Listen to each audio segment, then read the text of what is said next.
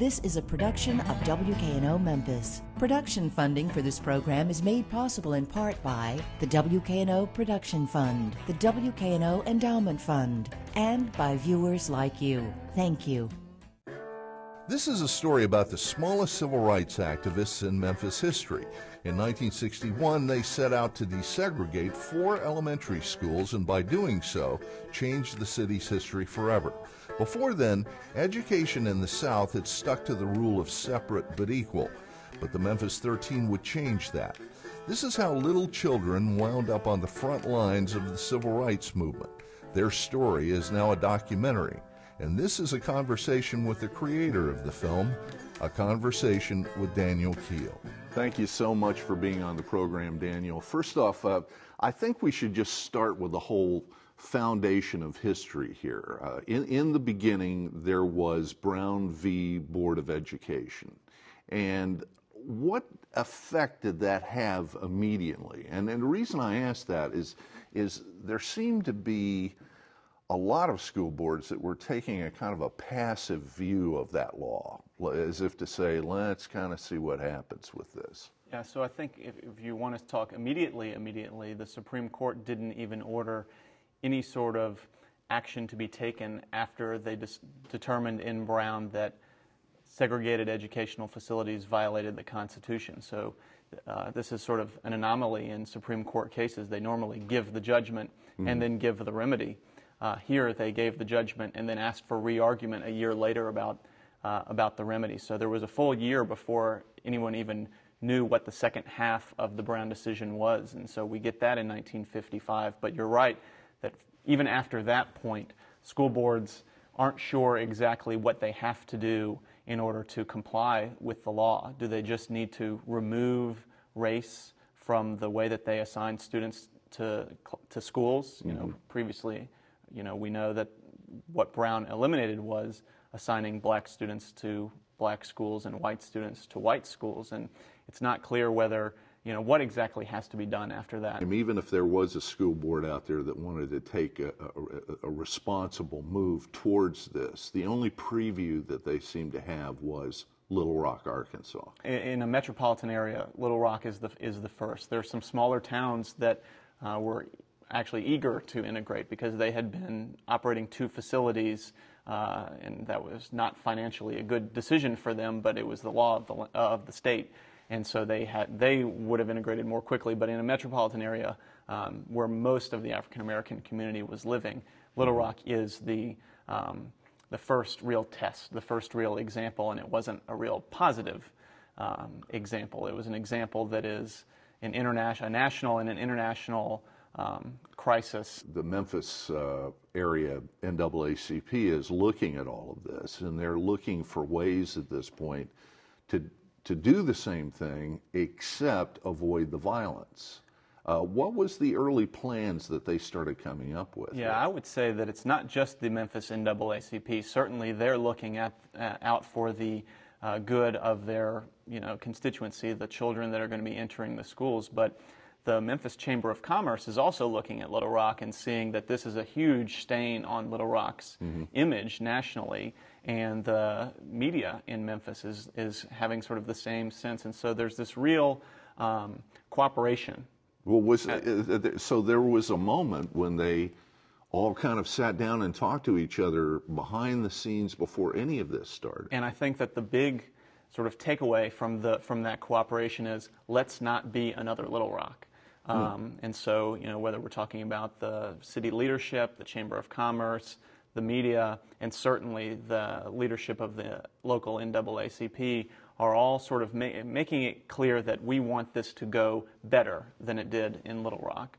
Um, right up to the police, the police department the night before, you know, saying we may or may not support this sort of from an idea standpoint, mm-hmm. but we are the police department of the city of Memphis, and we are going to maintain order here. We're not going to be uh, a force that allows disorder to, to, to happen. You know, that is uh, one of my favorite moments of the documentary is uh, when uh, they talk about Claude Armour, who at the time was the police chief. And uh, And I think it's uh, Billy Kyles who talks about that and talks about the fact that uh, Armour was a segregationist. Mm-hmm. And uh, he says that line, which uh, you could almost see it play out in a, in a movie about civil rights, where Armour s- says that he's a segregationist. He said, but uh, if there's anybody in this room talking to the police officers who don't, uh, don't feel that they can protect these children, turn in your badge now. Right. What a moment. That was quite a moment. And it really drives home how you, many people And you could tell involved. that, that Kyle really respected Armour for mm-hmm. that. I mean, in spite of his views, mm-hmm. you know. And it, I spoke with Maxine Smith, and it's the same kind of thing. You know, she says Claude Armour and I couldn't have been more different. You know, mm-hmm. in terms of what we believed was right for this city. But on that, at that particular moment, he had a role to play, and we had a role to play, and it required both of us to play our roles in order for it to go off well. So they develop a plan. What what is the crux of this plan? What what do they decide to do, and and who uh, and and who was the one who was behind implementing? it? a lot of people behind implementing it, but the plan is is essentially um, an outgrowth of the court case, which is which is going on. So there is, as there were all over the all over the South, a law, there was a lawsuit that essentially said the Memphis City schools are being maintained in an unconstitutional, segregated way. And so the school board is um, challenging that. They're saying, no, no, no, we're, we're, doing, we're doing okay, we're doing our part. Um, but it becomes increasingly difficult for them to, for the school board to, with a straight face, say, yeah, we're complying with Brown when they're maintaining schools that remain entirely single race, entirely black, or entirely white. And so, uh, with the pressure of the NAACP and the lawsuit, the school board um, decides to start accepting transfer applications from Afri- African American students in the summer of 1961. And the plan that they come up with is to begin not like Little Rock did in the high school years, but rather with first graders.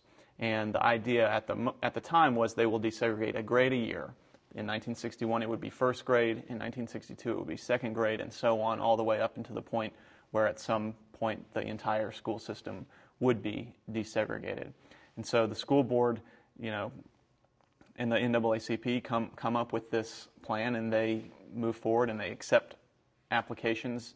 Um, there's, you know, the NAACP has to find parents willing to do this, which is a little, um, a little tricky to say, hey, to, uh, put your five and six year old through this. Remember, this is 1961, just after uh, the Freedom Riders had not had a very good experience traveling through the Yeah. South. It's not that far removed from Little Rock, where the Little Rock Nine hadn't had a very good experience. And so they get about 50 or 60 parents to apply, and ultimately 13 um, applications are accepted. And one of those parents uh, who had a child that was one of the 13 was uh, Reverend uh, Billy Kyles. Right. And uh, he, we have a clip here. Let's uh, let's see what he had to say about that. we thought we would do something different, and that is start with first grade. In all the other places, they started with high school. Our contention was that no, those white high schoolers are already tainted. First graders, no. Let's go with first grade. You know what's amazing is, uh, and I think we were talking about this a little bit beforehand, is that it's hard enough on your first day of first grade without being surrounded by policemen and to have this entire civil rights movement uh, really on your back. I mean, uh, I, I, I don't know if they understood the deeper implications of, uh, of, of what they were doing. Uh, you know, it was just kind of a trust thing, I guess, with the parents. Yeah, I think it's uh, it's so interesting to think of it from the variety of different places that you might think of it. Right, the kids themselves are going into you know first grade and they're going into a new classroom, and just um, to sort of make it precise exactly how this happened, the transfer applications came, but the students were actually originally enrolled in their all-black schools. And the reason it happens in October, October 3rd, 1961 is the, is the time, is because uh, that was when the transfer applications were granted. And so the kids are actually had spent four or five weeks at an, as, at a segregated school and now are being transferred into Bruce or Gordon or Springdale or Rozelle. And so they, so it's not just the first day of school; it's the first day in a new school. Mm-hmm. Um, and so that you know f- perhaps exacerbates the intimidation factor. Everyone else seems to know what where to sit and what to do, and they're stepping in new to, to, to these um, to these classrooms. Mm-hmm. And then from the parents' perspective, uh, the kids, it's unclear the degree to which they understood how this fit into the larger social movement.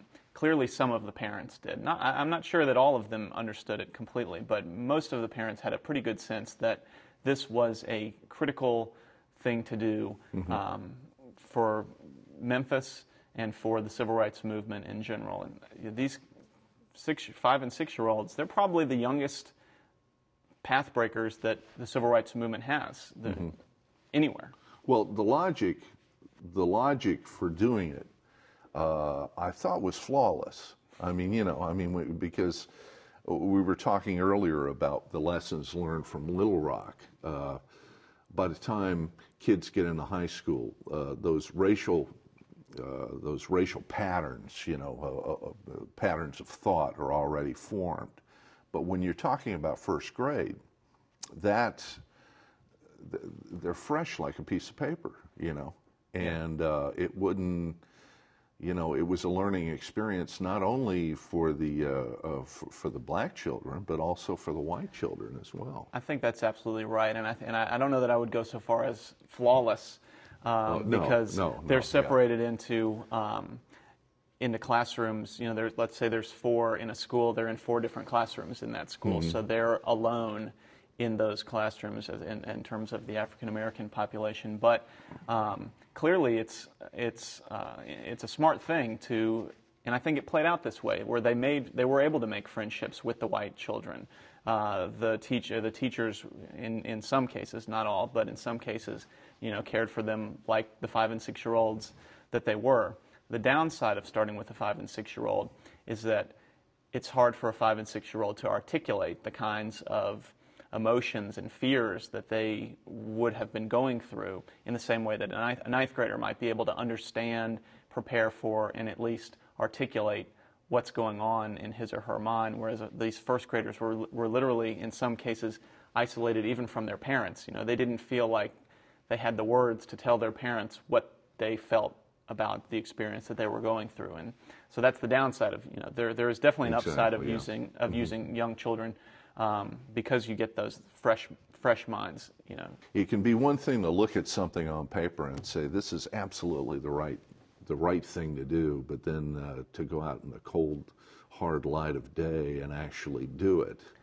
Yeah. Uh, that you know uh, you can tell and and one of one of the one of the pictures that I remember from the documentary the, is the uh, newspaper photographs of, of the Kyles girls. Mm-hmm. They just couldn't have looked happier. They were just they were just going into this with the greatest amount of optimism. One of them says uh, in the interviews, one of them says something along the lines of, you know, there were cameras all around and everybody wanted to talk to us and police were everywhere and you know, we felt like we were celebrities and something good was happening and we were in the middle of it. and, and, she then, wanted to be a movie star uh-huh. anyway. Yeah, and then so we got into school. and then it's like all of a sudden it became clear that, you know, all the good, you know, all this, you know, celebrity that they were enjoying uh, wasn't going to translate into an easy no. schooling experience. Yeah. There's one thing that happens. They, they go into the school, and as it plays out in front of the cameras, you know, the newspaper uh, uh, cameras and things like that, uh, it, it, seemed to go off without a hitch.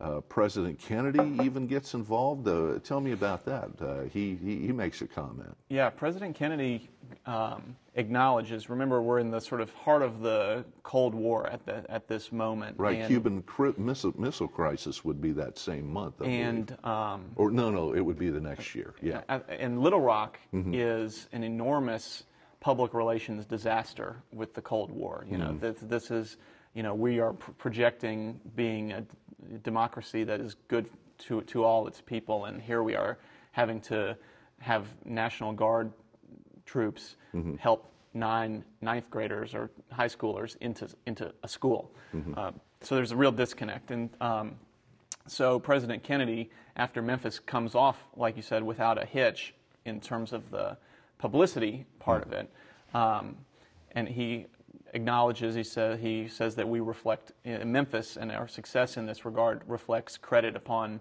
uh, the nation throughout the world. And uh, Bobby Kennedy, who was the Attorney General at that time, uh, called personally called the um, the school school board president and said this this was um, successful and you should be proud of yourself. Mm-hmm. But then the doors close, and then there's what happens inside the school. And I was struck by one of the quotes from from the women in the documentary. Was a little girl at the time, and she said. Uh, she she put it this way: You wake up in the morning and you dread going to school, you were alone. You were always alone. That's that really tells you that they, they, really did feel the full weight of that on their backs. Yeah, the uh, the degree of loneliness and isolation mm-hmm. that I felt in doing this project uh, was absolutely extraordinary, and it's not something that you would get if you just read the official history of you know the desegregation of Memphis City schools, and that's mm-hmm. really what drew me to the to the to these stories in the first place. I felt right. like this was a void. Mm-hmm. You know, we knew the official history, and we knew that it went off at least in 1961 without substantial resistance and without you know a huge crisis. Um, but clearly, there had to have been a human part of it, and so that's that's what that's what drew me to the story and what I you know the, the theme that I capture the most from speaking to, to, to all these individuals is is isolation. Yeah. They're isolated from each other. They mm-hmm. don't they don't know each other. You know, they didn't know each other at the time, and they don't know, know each other now. Uh, they were in four different schools, and in most parts were in classrooms alone, you know, by, the, by themselves. Mm-hmm. They were isolated from the white students in their classrooms, right, based on the, the, the times. Right. Uh, isolated from their friends in their neighborhood who mm-hmm. are going to all um, black schools, to segregated schools still uh, isolated from their parents, you know, not feeling like they can communicate openly in some in some cases with their parents, feeling like they have to kind of hold that in mm-hmm. uh, and not disappoint their parents. And uh, I can think of one telling a story, you know, isolated from her siblings. You know, her siblings who were older than her, who were in segregated schools and didn't understand why the NAACP was buying her clothes to go to school, but weren't buying them clothes mm-hmm. to go to school. Yeah. Um, well, there, so, there, there, there comes that moment, that epiphany moment where, where the parents who were trying to, or, or, or some of the folks from the NAACP who were trying to recruit parents. Uh, Maxine Smith talks about it. She says uh, that they were out there doing recruiting, and it was hard because they were asking people to do something that they were sure that they they they might not do themselves. Right. You know, in some cases. They were know. asking it to not not they were not even asking the children, right? They're asking the parents to put their children through this. And right. Uh, it's a it's an ex, it's an extraordinary act of faith and courage for the parents to have offered offer offered their children to go through this experience. And Absolutely, think, yeah. Uh, it's really extraordinary. What were the schools that were chosen in this particular uh, in this particular process? So it's four elementary schools: Bruce, Rozelle, Gordon, and Springdale. Oh, Springdale. And there, so there's two sort of in south-ish Memphis and two sort of north-ish Memphis, mm-hmm. and um, the students are generally from you know living near to those schools. Right, and there was what struck me also was, and it made it so interesting that there was a range of experience uh, from these students. And uh, in fact, uh, we'll, we'll, we'll, talk about that when we when we come back. Where I'm setting up this clip that you're going to see that kind of sure. tells you a little bit about that. I wasn't wanted there, and I I couldn't really say I had any friends there because if you met somebody, you can relate to them. You had other kids get with him and said, "No, you, are doing the wrong thing. You don't need to be over there with him." So I was sort of like a loner. We were just first graders, so it looked like everybody else was like giants over us. And when you got these big people calling you names and taunting you and so forth and so on, you know, you just kind of get the feeling uh, we're all the grown people. That, that's amazing. And you hear those wonderful stories about uh, the kindnesses, but at the same time, the ugliness as well. What you, what I've come to understand in, um, is that there are, it's really not a story of the Memphis 13. There are 13 stories of kids who, you know, tried to live a normal life with this extraordinary, extraordinary experience as part of that life. Mm-hmm. And um, the contrast between how the students experienced this uh, and how they look back on it is is uh, it's truly striking. I, I, just one thing that that I have always found, you know, one of the most interesting things that I heard. Uh, one of those things that when you're hearing the interviews, it makes your hair stand up on your arms. Mm-hmm. I had one student, Alvin Freeman, say, um, go on and on about the ice cream that they had at Gordon, and they didn't have such ice cream at his old school, Klondike. And he said, and this, this you know, didn't make it into the film, but he said, I would have been happy going to Gordon just for the ice cream. and then about three weeks later, I'm doing an interview with Clarence Williams, who was at Rozelle. Mm-hmm. And he says, You know, I think at Rozelle they had ice cream. And, you know, and there was not enough ice cream in the world to make me want to stay at Rozelle. And there it was right there. One person, wow. you know, yeah was there for the ice cream and the other person there's not enough ice cream in the world you know obviously, obviously you're hearing the real six year old come out when they're you know what well, they're focused on is ice cream um, yeah, the, just that talked about contrast. Uh, yeah, they t- they talked about also the crispy new books mm-hmm. and and everything was just lit up, you know. Uh, but uh, but you're right; those those range of experiences were, were, were really were really different in some cases. Uh, uh, polar opposites in some cases. Tell us about what happened to the kids over time.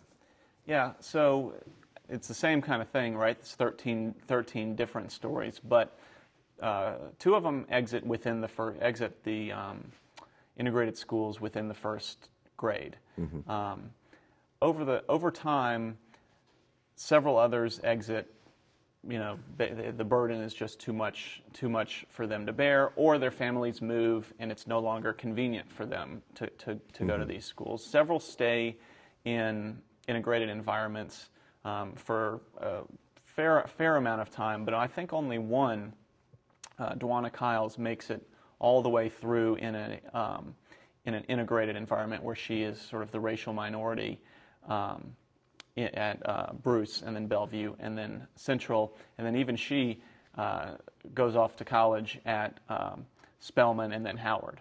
Uh-huh. And so you get a sense of just how much of a burden it really was, you know, for these people. And these are people that all look back uh, fondly. You know, they have, uh, mm-hmm. they have, there's pain in, in a lot of their experiences, yeah. but they are all on some level proud of having been part of this, and they look at this as an experience that you know, built them up as, you know, as human beings.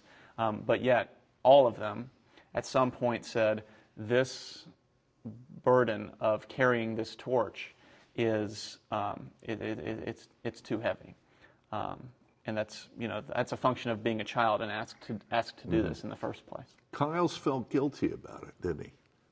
He really did. Yeah, I uh, I was surprised when he said that. You know, uh-huh. he said uh, in his later years he felt guilty about putting a five or six year old through it, but then he, you know, he says, but it was something that had to be done. Mm-hmm. And I think that it's important for us to sort of look back on at this time and remember that, you know, the kinds of freedoms that we have to be places and not worry about restrictions based on who we who we are or you know what we look like. Um, that's not the world that, that these students were living in at the time. That's not and it's thanks to their courage and their parents' courage that you know we are able to enjoy that kind of world. Uh, one of the things, and I have to go into the behind the scenes of the making of the documentary that impressed me, was uh, the use of, uh, of Mayor Wharton. And th- this is my review uh, of, uh, of the documentary in, in, this, uh, in this regard, and it's a wonderful documentary. Mayor Wharton really surprised me he is a terrific narrator. Even if he wasn't mayor of the city of Memphis, he would be a terrific narrator. He was he was amazing. Uh, to to sit and watch uh, the, how seriously he took it reading that narration, and he had not seen any of this. He was just given a sheet of paper with some narration to read, and uh, he had clearly prepared beforehand, and he took it very seriously. And I think it it really makes the movie having. Um, having his voice, you know, the voice itself is good enough, Uh-huh. but I think that his tone, his emotion, uh, it, it's really just right. It, it, it is. Uh, you could have gotten somebody who was, uh, a, you know, a polished radio announcer, and it would have sucked the emotion right out of it. Uh, he and uh, but but he uh, he is very very good in the narration. Well, congratulations, Daniel. It's a it's a wonderful wonderful piece of work, Thank and you. you should be extremely proud of it. Uh, and uh, and uh, I look forward to seeing some of the other documentaries uh, that you come up with in the future. Um, thank you so much for joining us. Thanks today. a lot. It's been fun.